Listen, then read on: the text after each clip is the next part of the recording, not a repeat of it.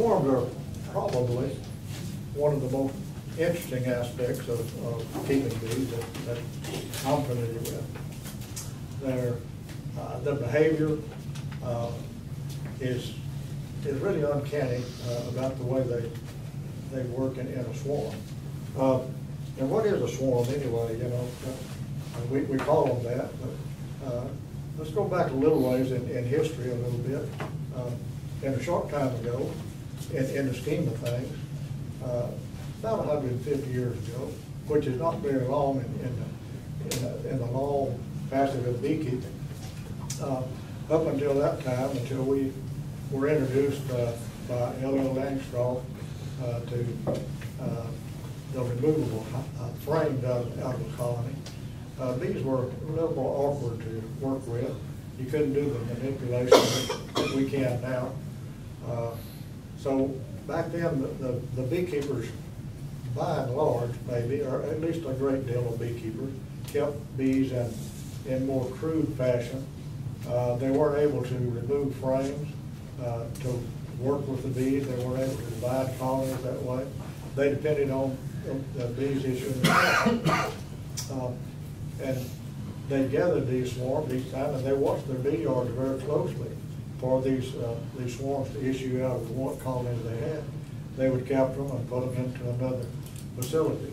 A lot of times they were kept in, uh, even cut off uh, hollow trees, you know, bee logs. Or they built boxes, just, uh, I, I was able to see one of those, and, and, uh, a fellow over east of here, uh, around, uh, Talpa over there, uh, actually kept bees in those. He was from the old, old school. That's been a number of years ago. And by the way, that's not a legal way to keep bees anymore. Uh, they should be in removable frames. And there's good reason for that, uh, especially for detecting diseases. So, but, but he was keeping those, and it was a squat, a box built out of one by twelve, uh, just a square box about, about four feet tall, probably, something like that. And, and up in near the top of it, about, a- about a foot down or something like that, the two cross pieces of wood. And you put a swarm in there, and they'd hang on that, on those little cross pieces of wood, and then build a nest, and when the honey flow came, they'd build, uh, build a comb up in the top, put honey up in there. And that's, they'd go in and take the little cover off of it, get the, harvest the honey out of that top, you didn't destroy the bee's nest. But that was, uh, one of the only ways that you could get honey out without destroying, destroying the nest. So they kept those, uh, in those kind of facilities for a good many years. A lot of them did. Uh, Very crude way of, of of keeping bees. Uh, And they didn't, they didn't refer to these hives or or colonies as col, as such, they called them swarm.